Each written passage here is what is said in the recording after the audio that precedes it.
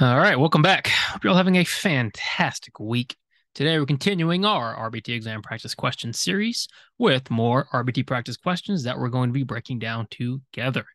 If you're new to the channel, welcome. If you're returning, welcome back. Please like and most importantly, subscribe. If you're looking for our famous study materials, please check out rbtexamreview.com. We offer three practice exams, our study guide, and of course, our combo pack. When you pass, please let us know so we can include you in our Sunday shout out. Other than that, let's work hard, study hard, and get to our questions. Question one, starting with something pretty straightforward. Which of the following measurement options does not provide a complete picture of the client's behavior? When we think about our different measurement options, continuous, discontinuous, permanent product, it's based on what behavior we're trying to measure and our resources, our time, what is our situation. Some measurement is going to capture all instances of behavior and give us a very full picture of what's going on. Some measurement won't. There are pros and cons to each. There are times and places for each. We just need to figure out which one is best given the individual. In this case, the, the question is asking what measurement option does not provide a complete picture of client's behavior. So, what you're really looking for here is something that isn't continuous because with continuous measurement, we're recording every instance of behavior. We're constantly watching behavior. So we're looking for something discontinuous or permanent product. A, duration. Duration is continuous. If we're taking duration data, we're continuously measuring duration of a behavior. It should give us a pretty full picture of the behavior. B, rate. Rate is the same thing. Continuous, we should be constantly taking the rate of that behavior. C, permanent product. Now, with permanent product, do we actually need to observe the behavior occurring? We do not. That lies the issue of trying to get a complete picture of the behavior if we're not actually observing the behavior occurring. So we can see what it produces and measure it that way, but we're not actually going to see the behavior that produced our product. Permanent product is not going to give a complete picture of the client's behavior, even though there's a time and place to use permanent product. And then D, event recording is essentially counting or observing how many times something happens. Again, that's continuous. You're going to be constantly recording whatever event is taking place. The answer here that does not provide a complete picture of the client's behavior is going to be C, permanent product, because we're not actually watching the behavior occur. Your supervisor BCBA always begins her cases with a functional behavior assessment. As a result of the functional behavior assessment, your BCBA identified several different interventions that could be effective with the client. Based on what you know about ABA, ideally, what intervention would be the last intervention we would try? This is a more difficult question. I'd say it's a seven or an eight. It's really going to test your knowledge of ABA, your knowledge of ethics, and what we're trying to accomplish through ABA. So in ABA, we're typically reinforcement first. Always, always, always try to start with reinforcement because reinforcement teaches behavior, it teaches the right thing to do. Punishment is is typically our last resort because punishment isn't permanent. There are ethical concerns of punishment, and punishment does not teach a new behavior. So when we're thinking about interventions and we have multiple interventions that could be effective, could work for the client, always, always, always going to try to go with those reinforcement procedures first. Save punishment for last. So the question is asking what intervention will be the last intervention try, we're going to predict some sort of punishment. So, A, differential reinforcement. Differential reinforcement is one of our go tos, one of the first things we always try and do with behavior. Nothing wrong with differential reinforcement. Does not feature punishment, it features reinforcement and extinction. B, just plain extinction. Extinction is fine too. Remember, extinction is not punishment, and punishment is not extinction. They're two very separate things. C, negative reinforcement. Negative reinforcement is still reinforcement. Nothing wrong with it. It's what we're trying to start our interventions with. So that leaves us with D, response cost. Now, what makes this tricky is response cost is a punishment procedure, but you have to know it's a punishment procedure without being explicitly told. Because why why does response cost function as a punishment? Well, we're removing something in response to a behavior in order to decrease the behavior. Decreasing punishment reinforcing or uh, removing negative, negative punishment. But ideally, the intervention we would want to try last is our punishment procedure or our response cost procedure. Differential reinforcement and extinction are fine. Negative reinforcement is great. Response cost should be last given what our intervention options are. Now, this is a more difficult question, okay? But this is practice. This is learning. The more you know, the more tools you have at your disposal, the easier the exam is going to be. An NFL game is 60 minutes long. Joe Burrow threw two interceptions in the first quarter, two more in the second quarter, and a final interception in the fourth quarter. At what rate were the interceptions thrown? Joe Burrow did not have a good game yesterday. Threw a lot of interceptions, turned the ball over a lot. What are we looking for? What are we measuring? We're measuring rate. What do we know about rate? Rate is frequency over time. So we need to have a frequency first and foremost. Well, our frequency is going to be how many times Joe Burrow threw an interception. Two in the first, plus two in the second is four. And then one final one in the fourth quarter is going to be five. Joe Burrow threw five interceptions over the course of 60 minutes. So, at what rate were interceptions thrown? A, five. Is five the rate? No, five is just the frequency. Remember, rate has a time component. If we said five per game, now we're talking because a full game happened. Joe threw five in the game. He threw five per game. What about one every 12 minutes? Well, if we have five interceptions in a 60 minute game, does that equal out to one every 12 minutes? It does. So rate could be five per game, or it could be one every 12 minutes. It just depends on what rate you're looking at. Both work. Both feature a frequency, both feature a time component, and both accurately reflect how often an inter- interception was thrown. Okay. So our answer here is going to be what? Well, both C and D. The lesson here, one, is we don't just pick the first answer choice we like and move on. We read all of our answer choices. And two, we need to be very familiar with rate and specify the rate they're asking for. Since no rate was specified, B, five per game, and one every 12 minutes both qualify. Examine the following scenarios. Which scenario demonstrates the most effective reinforcement strategy. We're looking for the most effective reinforcement strategy. What we're trying to do with reinforcement, we're trying to increase behavior. So let's take a look. A. Tim conducts a preference assessment and determines his client loves jelly beans. Tim now gives his client jelly beans each time his client asks for help. What's the problem here? Do we have a reinforcer? Not. We have a preference. We have a preference of jelly beans. No indication that jelly beans are reinforcing. We always, always, always, always go over this lesson that preference assessments and reinforcer assessments are two different things. Tim does not know whether or not jelly beans are reinforcing yet. So just because he's giving him jelly beans or the client each time jelly beans each time the client asks for help does not mean behavior is changing. This is not a reinforcement strategy. B, Greg uses tokens as reinforcement. Each time Greg's client engages in the target behavior, Greg waits five seconds and then delivers a token. All right, first things first, we do have reinforcement. So it is a reinforcement strategy. However, Greg is waiting to deliver the token. What's our rule with reinforcement if we want it to be very, very effective? Well, we want to deliver reinforcement quickly, meaning as close to the target behavior as possible.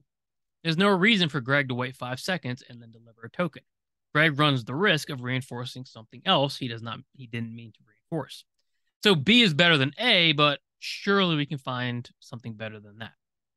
C, the function of Bailey's math completion behavior is attention.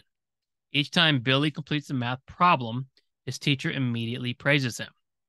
All right, so Billy's math completion behavior is maintained by attention. That's the function, it's the reason it's occurring. So attention is reinforcing for Billy. Each time Billy completes a math problem, his teacher immediately praises him, or, in other words, gives him attention.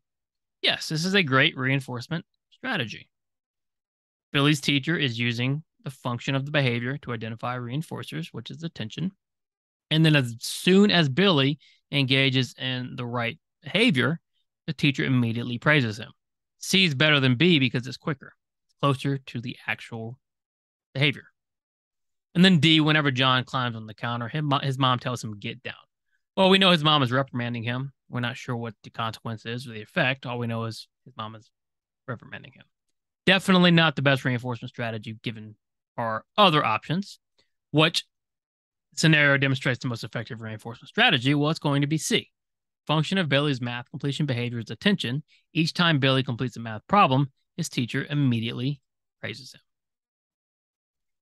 During her morning routine, Jane closely observes herself washing her hands and taking a shower. She records each step onto a notepad for later use. What describes what Jane is doing with her observation? All right, think about this one. What is Jane doing here? If Jane is observing herself washing hands, taking a shower, and recording the steps for later use, what does that sound like? Think about what do we teach in steps? We teach chains. And in order to create a chain, what must we do? We have to perform a task analysis. A task analysis creates a task chain. What Jane is doing is just watching herself. She's analyzing her tasks, writing down the steps for later use. Later on, she may go ahead and create a task chain with these steps. Jane is engaging in the task chain, but her observations are part of the task analysis. Understand the difference between the task analysis and the task chain. Task analysis creates task chain.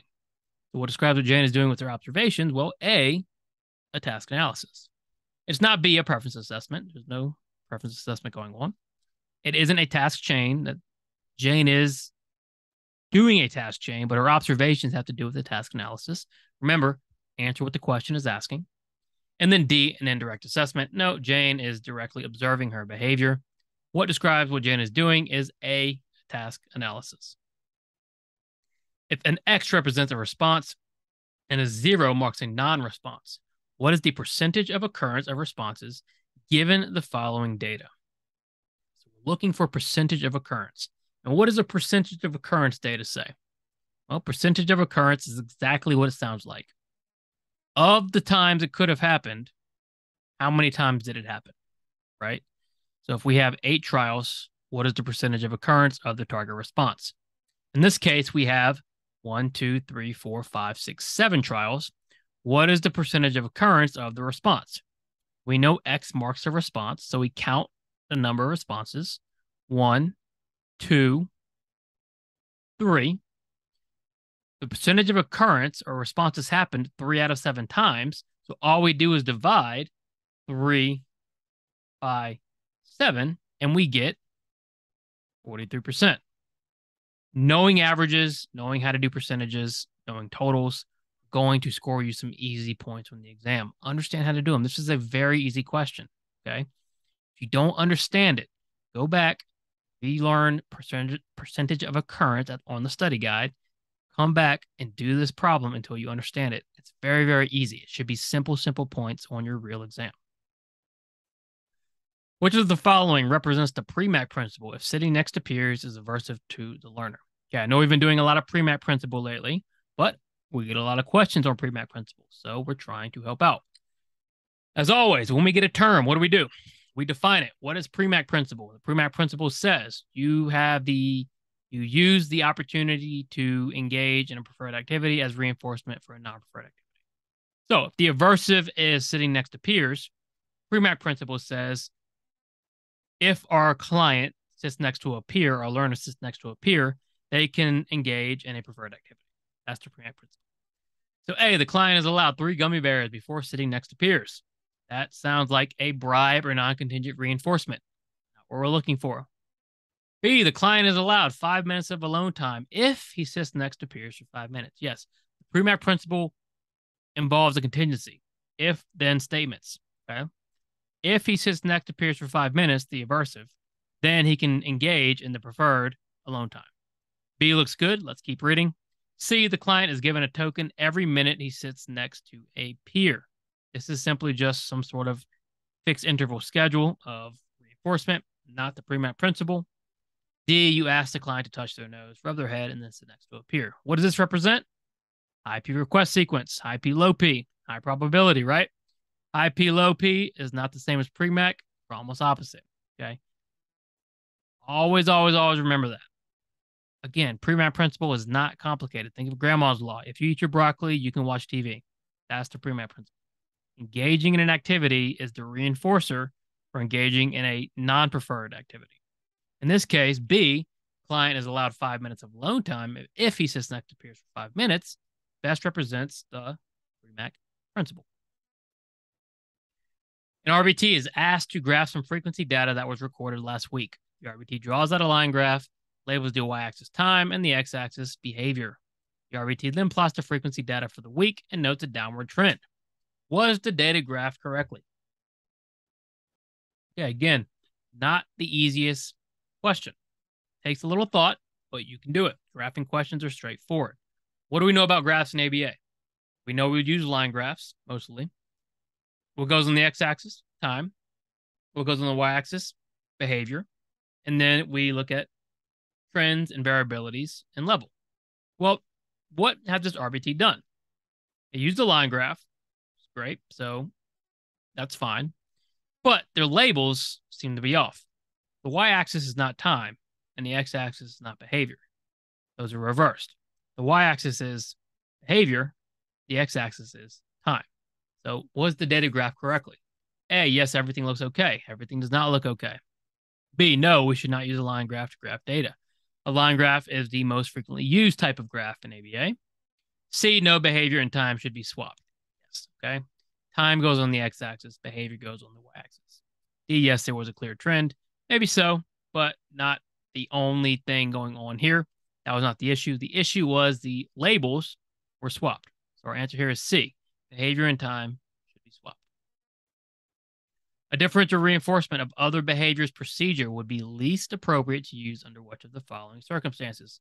One of my favorite questions because it gets you really thinking hard about differential reinforcement. So let's start there. Differential reinforcement of other behaviors. When are we differentially reinforcing? In the absence of a target behavior. So when a behavior is not occurring. When do we typically use DRO? When we have to immediately decrease the behavior, dangerous behaviors, high rate behaviors, those kind of things. When will we not use DRO? A, the behavior occurs at a very high rate.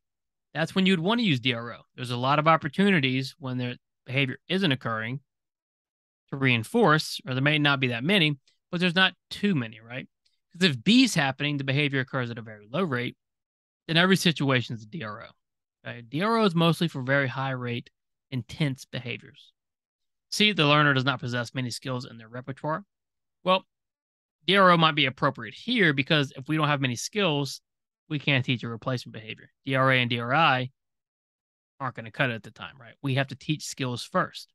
So the learner does not possess many skills in their repertoire. Just use a DRO to start, at least for decreasing the behavior. And then D, the behavior is dangerous. If the behavior is dangerous, DRO is sometimes ideal, nipping it in the bud, making sure it doesn't happen. So a differential reinforcement of other behaviors would be least appropriate to use when? When the behavior occurs at a very low rate. All right, thank you for watching. Please like and subscribe. Check out rbtexamreview.com. Hard, study hard. See you soon.